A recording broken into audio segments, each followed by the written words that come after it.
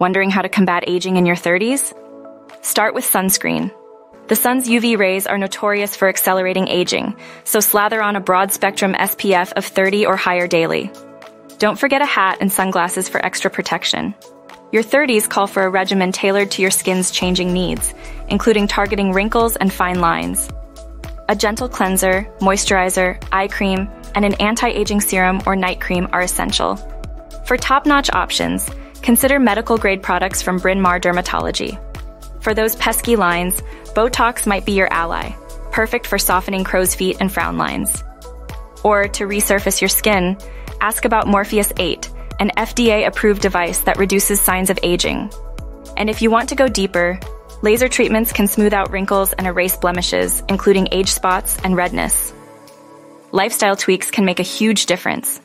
Aim for 8 hours of sleep to allow your skin to repair, and stay hydrated with at least 8 glasses of water a day. Regular exercise will improve skin elasticity, and a healthy diet packed with fruits, vegetables, and whole grains will keep your skin glowing.